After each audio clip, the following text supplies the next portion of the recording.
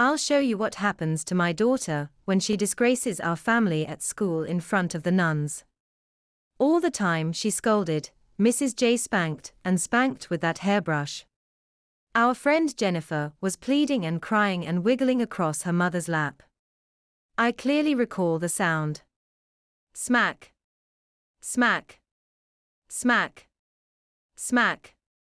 Going on and on as the spanking continued. The punishment went on for some time. I began to feel very sorry and concerned for Jennifer as she endured this spanking. I remember saying to James that we had seen enough and should leave before we got caught. However, there was another feeling that said stay. This was all a great show, even if it is risky.